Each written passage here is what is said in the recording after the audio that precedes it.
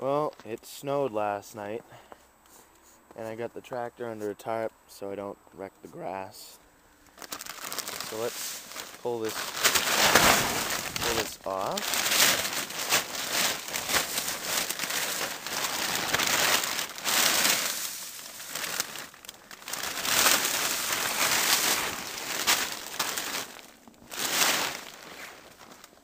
Oh, cool. Let's see if it will start. Oh, my ass is gonna get wet.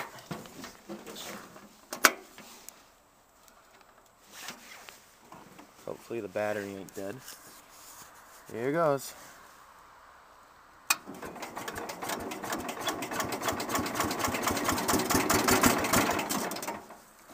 Alright. Hold on a second.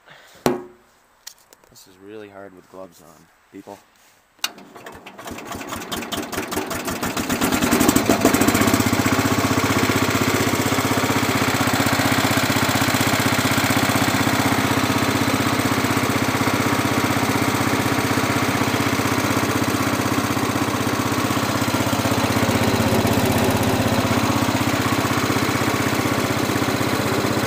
Alright, to save some battery and video, I'm going to pause this and I'm going to drive out to the front.